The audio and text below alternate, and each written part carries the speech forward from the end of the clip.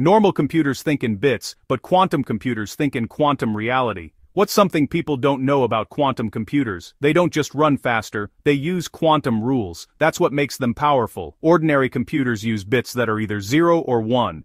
Quantum computers use qubits, which can be 0, 1 or a mix of both at the same time because of superposition. Imagine one qubit as a spinning coin. While it's spinning, it's both heads and tails until you look. A few qubits together can explore many possibilities in parallel, so they can work through options at once. Now add entanglement. Entangled qubits behave like perfectly synced coins, so if you know one, you instantly know the other, even far apart. Special quantum algorithms use this power to solve certain tasks dramatically faster, breaking large encryption keys, searching huge databases, simulating molecules for new medicines, or designing advanced materials. But qubits are extremely sensitive, they must be kept ultra-cold and isolated so noise doesn't destroy their fragile states.